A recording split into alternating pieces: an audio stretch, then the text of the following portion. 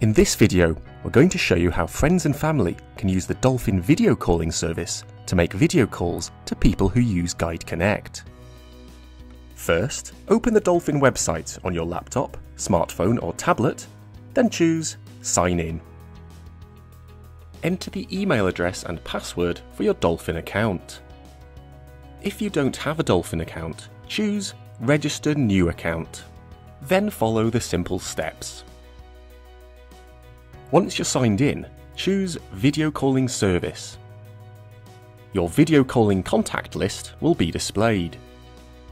Use the Add Contact button to add friends who use GuideConnect to your contacts list. Make sure your email address is added to your friend's address book in GuideConnect as well. Choose Settings to make sure your microphone and camera are set up correctly for video calling you're now ready to make a video call.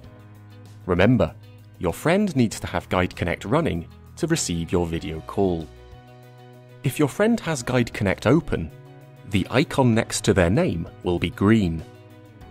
Use the video call or audio call buttons to start the call.